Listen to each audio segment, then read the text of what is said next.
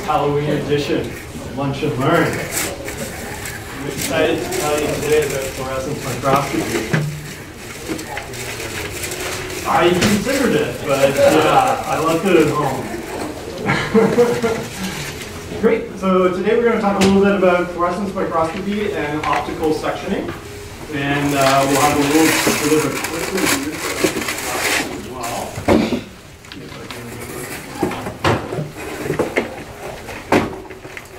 Okay, and then of course we'll be back in a couple more weeks. Uh, we have some guests coming from, uh, actually not super guests, Luke Bogart used to be in one of our MCD labs here.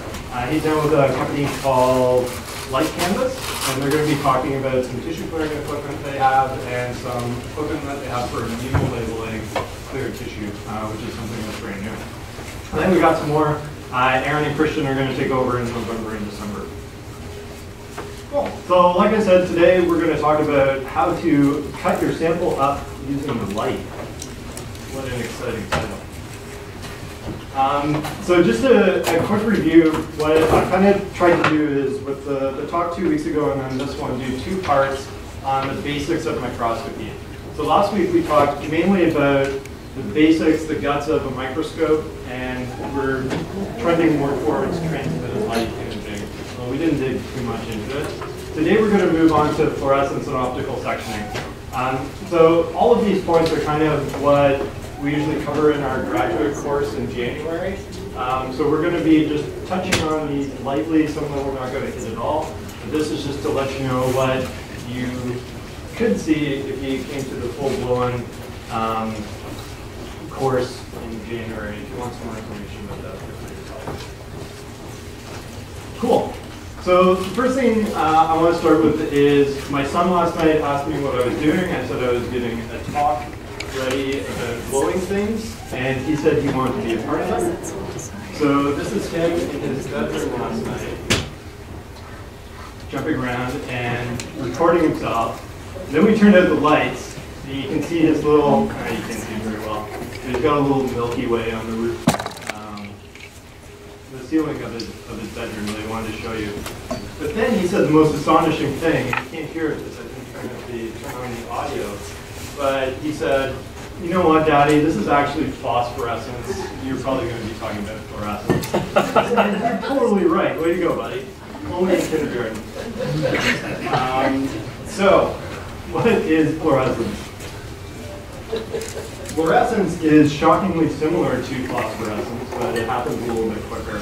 I'm not going to dig too deep into the details, um, but here is, a, you probably all recognize this as the structure of GFP, green fluorescent protein, uh, something that a lot of us have used. So it's a protein structure, and in the middle in yellow here is a chromophore. So some of the side chains from the amino acids uh, interact with each other and form this, this special chromophore. And the electron cloud around that chromophore is able to accept a photon of cyan or blue light. That's going to come in. That energy from that photon is going to be absorbed into that electron cloud.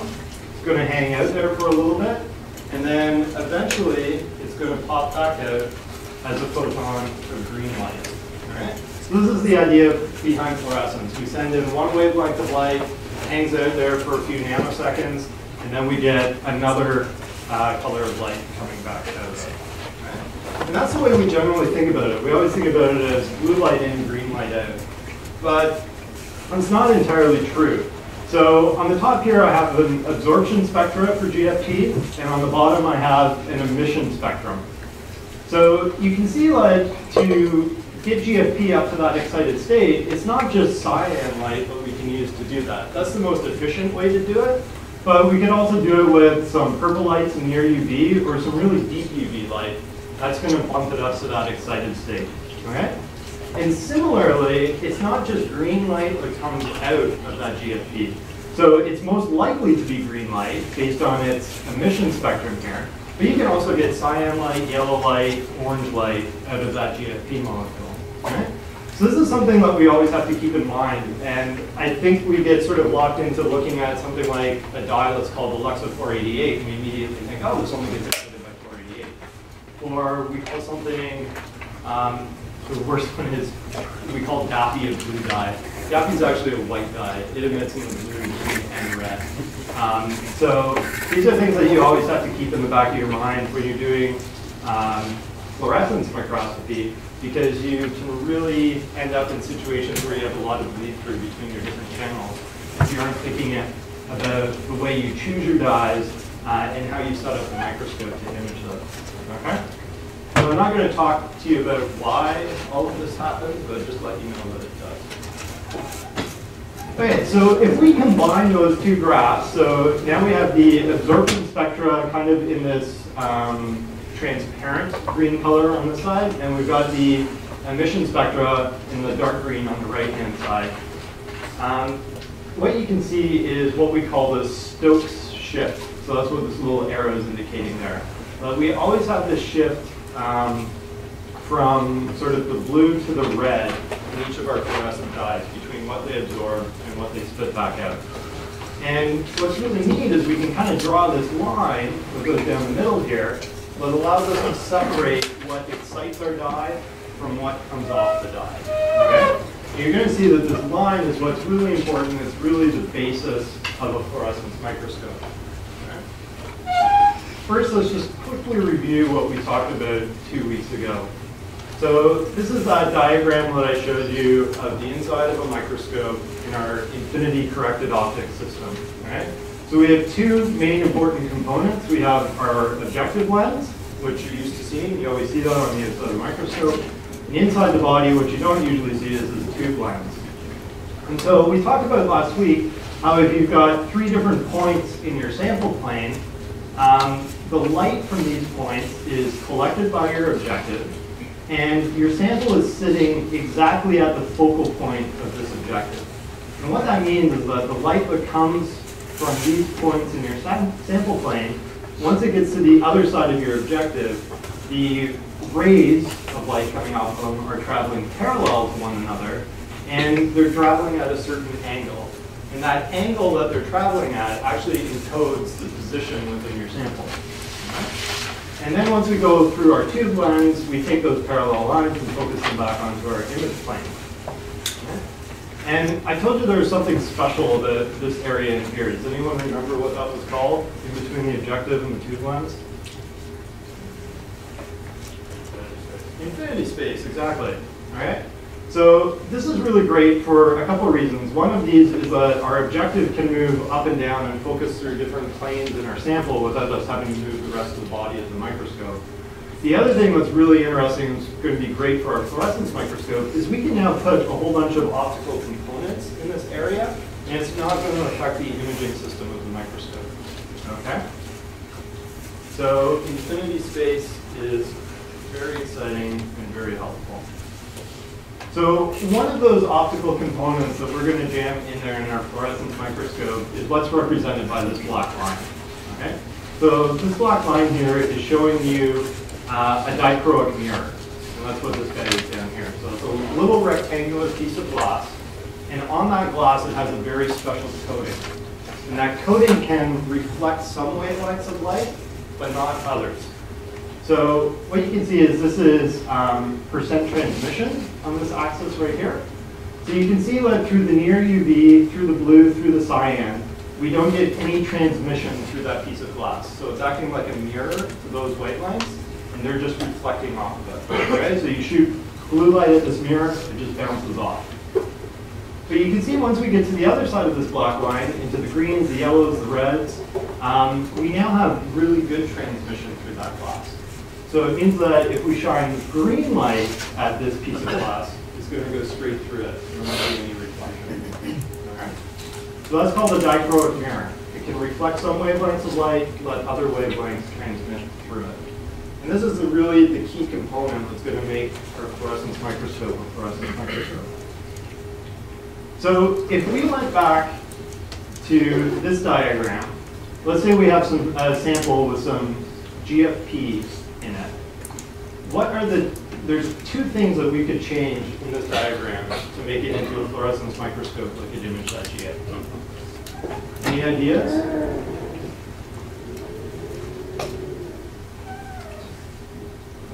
So let's look at this arrow right here. This is white light that's coming into our sample right now. What do we need to do there?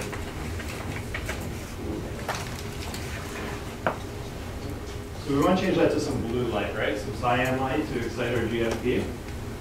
And then I was talking about this infinity space here. What could we put in our infinity space that's going to let us see our GFP, but not this blue light that's coming in? Yeah, one of those dichroic mirrors, right? Okay. So here now we've got a system where we have cyan light that's going to come in. It's going to hit our GFP on our sample plane. We're going to get some fluorescence. That light's going to go into our objective. And once we get to the dichroic here, it should reflect the cyan light back down onto our sample. And our green fluorescence should go back through to our image plane or our detector. Has anyone ever seen a microscope like that? I can tell you we don't have one like that in the HCBI. Any idea why?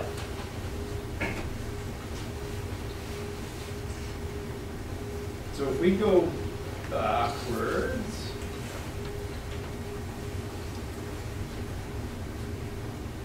this transmission of this little mirror here in this cyan range where we're sending in our excitation light for our GFP, it's not zero. It's very small, it's a couple percent, but it's not zero. And what that means is we're sending in this incredibly bright cyan light here. And it's going to go right through, and a few percent of that is going to get through this dichroic mirror and get to our detector. That few percent of the cyan light is probably more intense than the actual green fluorescence we're getting from our? So what you end up seeing on your detector is just mostly this excitation light. You don't see your um, actual fluorescence that you're looking for from your GFP. So in most fluorescence microscopes that you'll see do not use this what's called transillumination.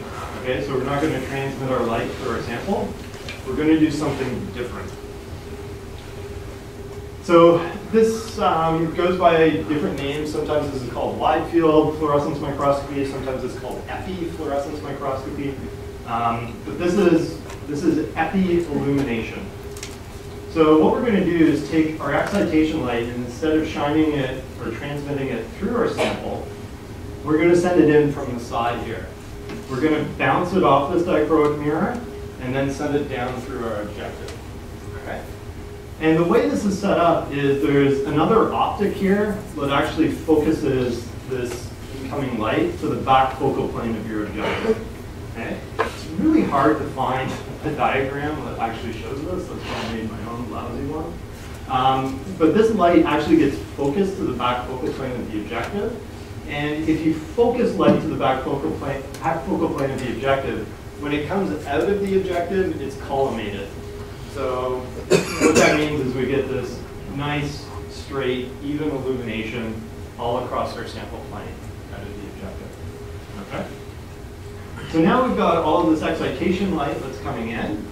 It's going to hit our sample plane there, where we have some GFP molecules, and they're going to get lit up. And then they're going to send our light back to our detector.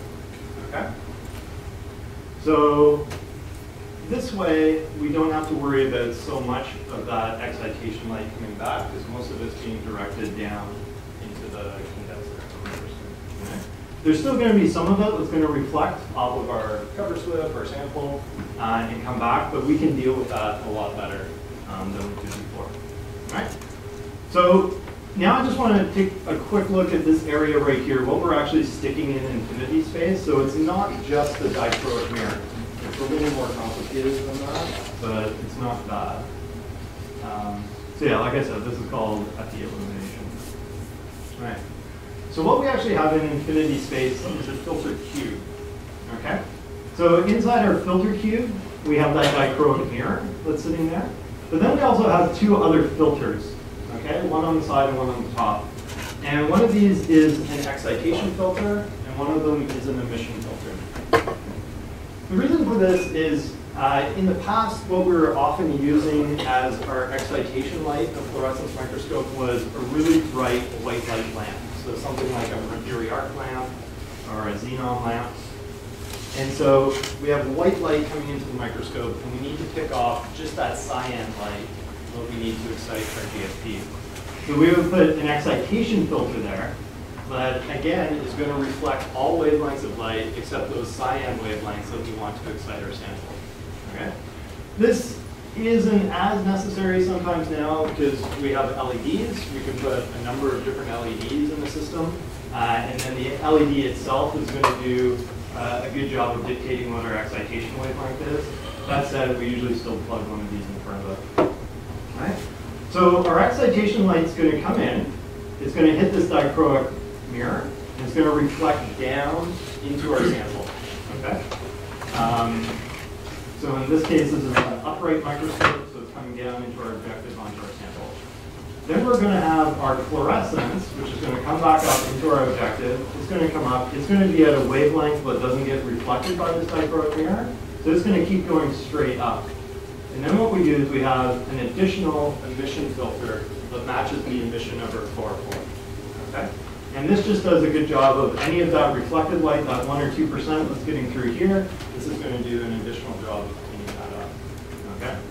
Um, it can also add a band pass to it, so often these guys just let everything above a certain cutoff get through.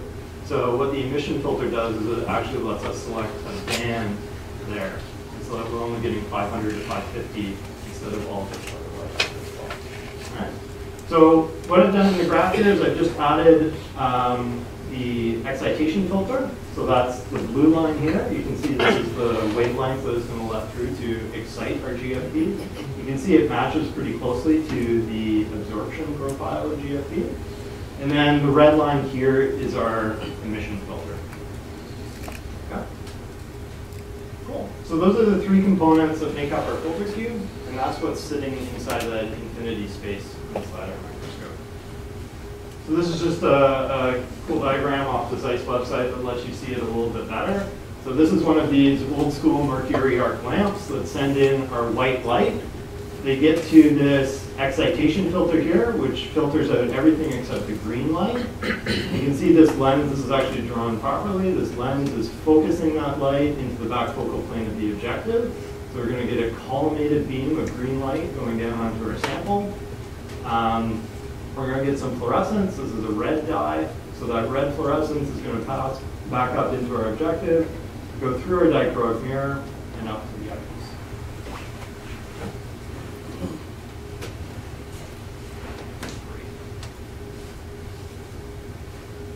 Cool. So that's how a wide field fluorescence microscope works. And now this is great for taking images of thin samples. Um, here's two examples here. The one on the right is just uh, an endothelial cell stained for microtubules in green and actin in red. And then the one on the left here, this is a really thin section of mouse kidney tissue. I think it's only about 15 microns maybe a little bit more. Um, but what you can see is these images look pretty good, but there still seems to be a little bit of an inherent blurriness there, right? It's not as sharp as it could be. It's not as sharp as what I've shown you now on the other half of those images. Okay? So these are um, a couple images that I took in the facility. One's on our ELYRA microscope in super or in structured illumination mode, super resolution structured illumination. This is um, actually I think this was on the old cell observer that we used to have that has an apotome uh, which sometimes called grid confocal. It's also called structured illumination, which makes this incredibly confusing. Um, but these are two techniques to do optical sectioning through your sample. And what they're doing is removing all the out of focus light. And we're just looking now at an even thinner plane than our actual sample. And you can see that we start to see a lot more detail, so you can start to see these red blood cells really easily. There's probably some of them right there, and you just can't make them out um, when you're looking at it in wide field. So whenever we start looking at fluorescence in the thicker samples, optical sectioning is very important. This is how we're going to get our sharpest, clearest view of the sample. And so these are these disadvantages of a wide field microscope that we always have to live with. So I told you we take our excitation light, we focus it at the back focal plane of the objective, so we get this collimated beam of excitation light coming out of our objective. It's going to excite these fluorophores on our focal plane here. It's also going to ex excite any fluorophores above or below that. So we're going to get this massive excitation light coming back into our, um, back to our detector. So the disadvantages to a wide field microscope are that we get light from all focal planes coming back to our detector, so our image looks blurry. We're exposing that entire sample to light from top to bottom. So we're doing some bleaching. If you're doing a Z-stack through that sample, you're bleaching everything, even though you're not, you're only looking at one focal plane. And this leads to a very limited imaging depth. So you can't image that deep into a sample um, in this wide field method. Okay. So our question is, how are we going to isolate the light from just a single focal plane? And I wanted to show you this. This is actually drawn to scale. Okay? So if you have a 50 micron tissue section, which is actually pretty thick for a tissue section, um, there's how thick that is. Here's how thick your cover slip is. So your cover slip should be 170 microns. If it's not, you should change cover slips. Um, and then if we use a really high numerical aperture um, objective, it would have a Z depth of field or resolution of about half a micron, okay? So about that. So this is our single Z slice through that tissue section. But in a wide field microscope, we've got fluorescence coming from that entire 50 microns. Okay? So we need a method to just get the light from that very thin section back to our detector and not from everywhere else. So the first person who figured out how to do this was Marvin Minsky. In the 1950s at MIT, this is his patent drawing. Uh, he's actually not really well known for this. He was actually big into artificial intelligence, um, which is also really interesting. He was way ahead of his time. Um, but this was his patent application for a confocal microscope. And the way this works is there's a light source here that sends some light into your sample. There's a lens, an objective that focuses onto your sample. And then um, he wasn't dealing with fluorescence. Obviously, this was a little before that time. Um, but his light would bounce off the sample. He had some reflective sample. He takes some of that reflective light, bounce it off this optical component down this way. And then this is the important component of his microscope. So this is a, a little pinhole, okay? So he, as simple as a piece of cardboard with a little bit of a hole in it, and then it went down to his detector. So this pinhole is magical in that it filters out all of the light that's coming from above or below the focal plane or focal point of this objective. Here. So I'll show you that a little bit better in this diagram. So in this diagram, we have a lens that's collecting our light coming from our sample. Okay? And what we have is this solid black line here is our actual focal plane. And the sort of blue cone of light is light coming from a point on that focal plane. Okay? The dotted line here is a focal point deeper into the sample, and the red dotted lines and the red cone is light coming from that point, okay? So what we want is we want this blue light to get back to our detector and we want to get rid of the red light, okay? So if we trace this back, it comes back to our objective, it gets through our beam splitter or dichroic mirror, and it comes back to this pinhole. And this pinhole is positioned exactly where this light should be focused and so the light coming from our focal plane should be focused. You can see it doesn't occupy very much space, so that pinhole can be really small, and that light's going to pass right through. But the red light that's coming from deeper in our sample, it gets focused in front of that pinhole, and now you see that most of it ends up smashing into the pinhole and never makes it back to our detector. Okay? So this is how that pinhole picks out just the light from our focal plane. And the same thing would happen happen if we were looking on this side. That light would um, be wanting to focus on this side of the pinhole, so most of it would just run into the pinhole and be blocked from getting through. Okay. Cool. So what does this look like in our fluorescence microscope now? So this is poorly drawn and not totally to scale, but we'll hopefully get the point across. So now what I've done is I've put our pinhole in here. And we're going to do things a little bit different with our excitation light path, okay? So in a confocal microscope, we don't try to excite all of our fluorophores at once or an entire sample plane at once. We just try to image one pixel at a time, okay? So to do that, we take our excitation light, and instead of focusing it into the back focal plane of the objective, we just fill the entire back focal plane of the objective with light, okay? So this is collimated light that's coming into the back focal plane of our objective. That means that our objective will actually focus that light to a point. So now instead of having collimated light coming out of our objective, we've got light that's being focused to a point, okay? Um, so it focuses to a point at our sample plane that's going to diverge on the other side. Um, so at that point there, we're going to have a little molecule of GFP. And what I've shown you is one on either side here as well. And so all of the fluorophores that are sort of in that line are all going to get excited, um, but nothing out to the sides here will. Okay?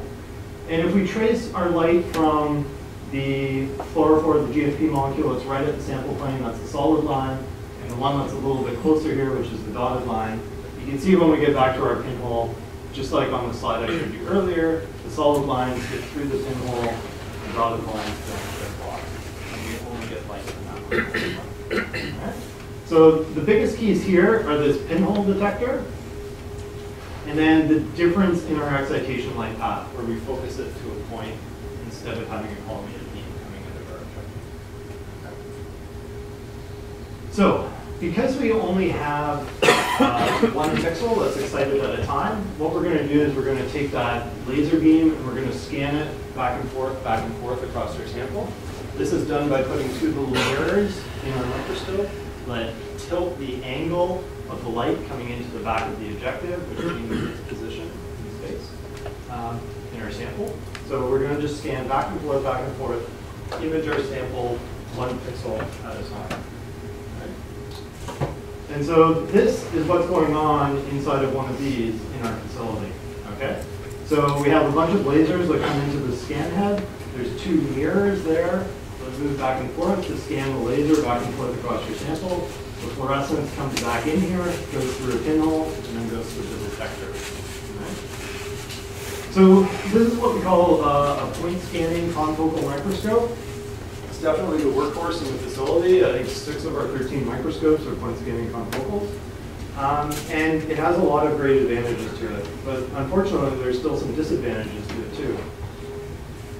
So the big advantage is we now have optical sectioning, so we're only looking at light coming from one focal plane. But we're still shining our excitation light all the way through our sample. So if you're doing a really big Z-stack, by the time you get to that last focal plane, it's been hit with a lot of light. So it's possible that you bleach out some of that, um, that focal plane before you get to it. We still have uh, a limited imaging depth. Um, this is due to scattering of light, so what we talked about during the tissue clearing uh, sessions earlier this summer. And then because we're only scanning one pixel at a time, this is really slow. Uh, and that's probably the, the biggest disadvantage of a point scanning confocal is that it's slow. So if you have a live sample, of something that's really dynamic, this isn't the greatest microscope for imaging those. Okay. So there's been a couple um, advances that, that have tried to get around some of these limitations of the point scanning confocal. And one of those is the spinning disk microscope. So in our spinning disk microscope, what we do is we send in our laser light, we send it in a collimated beam, and we have it pass through these two spinning disks, very aptly named. So the first disk is just an array of little micro lenses, and what these are trying to do is collect as much of this laser light as possible and focus it so that it passes through these little tiny pinholes down below on the second disk. Okay? So first generation of these didn't have these guys, and so you wasted a lot of laser light. This now um, your delivery of laser light to your sample. Okay? So we have a dichroic mirror here, our excitation light passes through it, and then it goes through these little pinholes here. And what those do, you can kind of think of this as shooting multiple little laser beams at your sample all at once. Okay? So now instead of imaging one pixel at a time, you can image multiple pixels at a time. And once this disk does an entire rotation, an entire 360 degrees around, you have hit your entire field of view with excitation light, with one of these little tiny laser beams. Okay? And we can spin this disk really, really fast. Um, so it's fractions of a second to cover your entire sample. Okay? And so each one of those pinholes, when your light comes down, it gets focused onto your sample, the fluorescence comes back up, hits this dichroic mirror, and goes over to your detector. I didn't talk about the detector on the point scanning confocals. Um, it's not a camera, it just has to detect a single pixel at a time, so it's just a single light sensor. But here we shoot everything back onto a CCD camera, okay? And so by the time this goes around a couple times, all of that light is integrated onto our camera in our single exposure, and we have an image of our sample. So this ends up being much, much faster. Um, like I said, you only need one rotation, which can do, be done in a fraction of a second, uh, whereas point scanning confocal can take much longer. So um, again, we've now got optical sectioning, so we're only getting light from a single focal plane. Uh, unfortunately, we're still shooting our laser light all the way through our samples. We still have some issues with bleaching. We still have limited imaging depth. But this is really nice and fast, which is great. The other disadvantage to uh, a spinning disk is the light coming back from your sample. It doesn't always perfectly hit one of these little pinholes. Sometimes that light gets scattered and it can get into a different pinhole, and then that increases the blur in your sample. So that's why if you're trying to do a direct comparison of a spinning disk to a point scanning sometimes you'll see your image is a little blurrier in the spinning disk, not quite as crisp and sharp as a point scanner, but way faster. So another option that we have is, is two photon microscopy, which you've probably heard of as well. So if we go back to our GFP, I told you before, well, we usually send in our cyan light or blue light and we get a green light out. There's another little trick that we can do here. If instead of sending in cyan light, we send in red light, and two photons of red light hit that chromophore at exactly the same time, those two photons of red light have the same amount of energy as that photon of blue light. And so we can still get the same increase um, in energy levels in our chromophore, and then we can shoot out a green photon. So the end result is the same. We're getting green photons out. The only difference is our excitation. It's two photons of red light coming in. And when we do this in a two-photon microscope, what's really interesting is obviously the probability of two photons hitting your chromophore at the same time is really, really low. The only point where there's a high enough probability of this happening is at the focal point of your objective. That's the only spot into your entire light path where you can concentrate photons at a high enough density to ensure that you get two photons hitting your molecule dye at once. All right? So this is a little experiment. This is such a cool image. I really need to do this sometime in the facility. Um, but what we have here is just a little cuvette that's filled with, uh, I believe it's FIT-C, which is a green fluorescent dye. And this is using one photon excitation. So this is just shining in cyan light. So you can see there's a little bit of blue light reflecting here, back up. That's what's going into the cuvette. And we're getting excitation of that dye in here. So you can see our light coming in, focusing, and then diverging. Okay? And we're getting excitation of the dye all the way from the top to the bottom of the cuvette. If instead we put in red light, it's tough to see, but there's one little spot of excitation there. Okay? So you no longer have this big hourglass shape of excitation, you just have one tiny little spot in the middle. Because that's the only point in that entire optical system where the photons are concentrated enough to get two of them hitting your fluorophore at the same time. So what this means is in our two photon microscope setup, our excitation is still the same, except we're using red light instead of cyan. So it's going to come in, it's going to bounce off this dichroic mirror. I said this dichroic mirror is inverted. What I mean by that is this one's going to reflect red light, let green light through, um, as opposed to the cyan green, which was the opposite before. So our red's going to bounce in. We're going to get that two photon excitation process only at our focal plane. And what that means is that pinhole is now useless. So we don't need that pinhole anymore because only this fluorophore at the focal plane and not the one above or below are being excited. So we can actually get rid of that pinhole. And what this means is we can now be a little more efficient in our collection of uh, photons.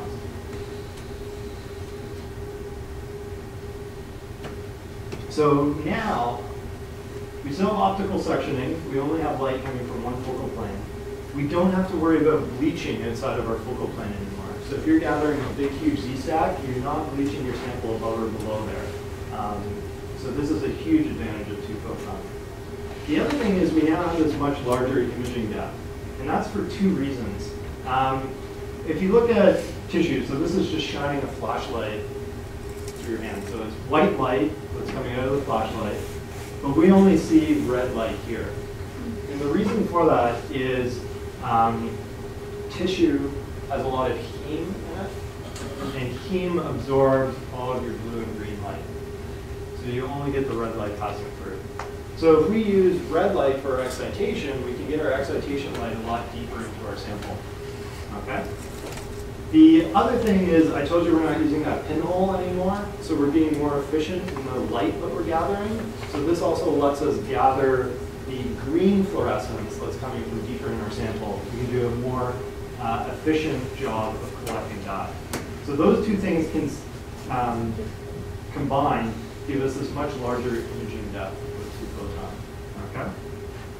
But we're back to a point scanning process, so this is really slow. So there's one last optical section technique that I want to talk to you about. And that's light sheet. So in light sheet, we do things a little bit differently. Instead of using the exact same objective to send in our excitation light and collect our fluorescence, we're using two different objectives. And we arrange them perpendicular to one another. So these block objectives on the sides here, these are what are projecting in our excitation. Okay? So here's our blue excitation light that's coming in. We've got a sample sitting in this little um, agarose column here that has some GFP in it that gets excited, and that fluorescence goes back out into um, our collection objective at the back. Our light is shaped a lot differently here, so instead of focusing this light or sending it in as a column of light, we're actually sending it in as a really thin sheet. Okay? So what that means is that we can move the sample back and forth through that sheet. That sheet is much, much thinner than our sample, and we're only exciting one plane at a time.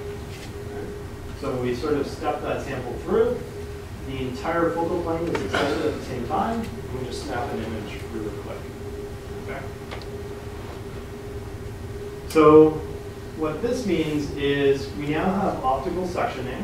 So we only have light coming from where that light sheet is depending on what objective you're using, um, it's only coming from the focal plane or it's mostly coming from the focal plane. So if you have a really high resolution objective, you're still getting some out of focus light because we just can't make the light sheet that thin. Um, on the particular system that we have, uh, if you've heard of lattice light sheet or Bessel beam light sheets, they can make a much thinner light sheet, and then you always only have light coming from your focal plane. Um, we don't have any bleaching outside of our focal plane. We now have a pretty large imaging depth, um, and that comes more from our ability to rotate our sample. But the key thing here is that this is really, really fast. Um, so we can fly through a sample very, very quickly and image the entire thing.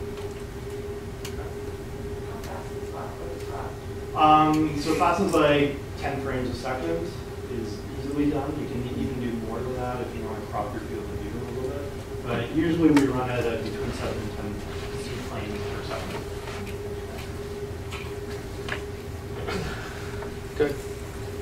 Yeah. So I'm wondering how like two photon or the previous confocal deals with changes in refractive index because of the tissue sample as the light passes through it. Yeah, so um, some of your scattering in tissue is wavelength dependent, some of it is not.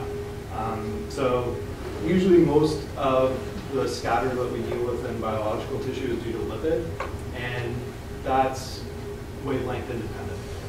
So it's not going to matter too much.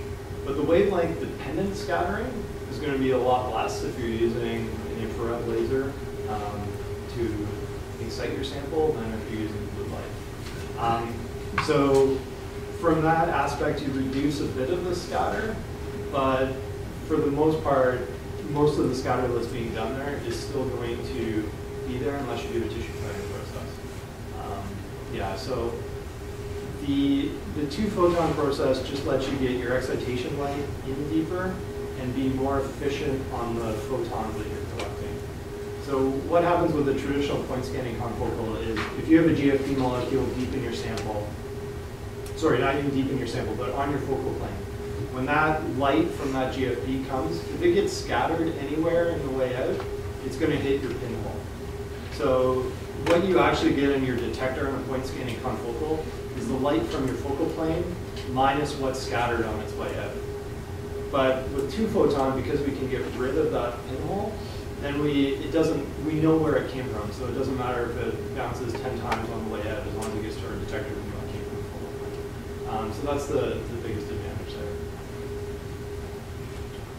Okay, so just to summarize, this was uh, a great diagram out of a review paper a couple years ago. Um, it basically shows what we've been talking about.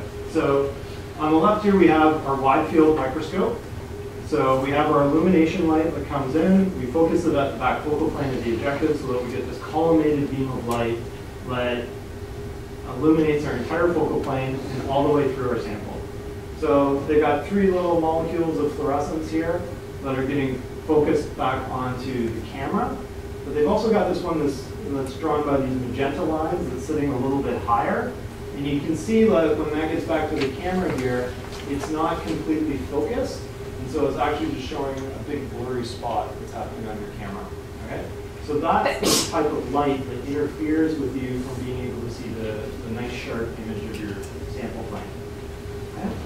So the next one over here, this is a point scanning confocal. So our illumination light is coming in. It's not being focused at the back focal plane anymore. It's um, collimated there so that when it comes out of the objective, then it gets focused into our sample. And they're showing this hourglass shape of excitation light moving in this direction. And uh, same thing here. We've got these dark green lines that are coming from our focal plane. They pass through the pinhole and get to the detector, whereas the magenta ones coming from a little higher here, they aren't focused yet, they just smash into the pinhole and don't get to our detector. Okay? So that's how we get optical sectioning there. Light sheet, we're sending in our excitation light from the side here, forming this nice thin sheet through our sample that's only exciting those three molecules there. They all come back, we get focused nicely onto our camera. And then we can just move the sample up and down really quickly and build up that 3D image that way. Okay? Cool. Excellent.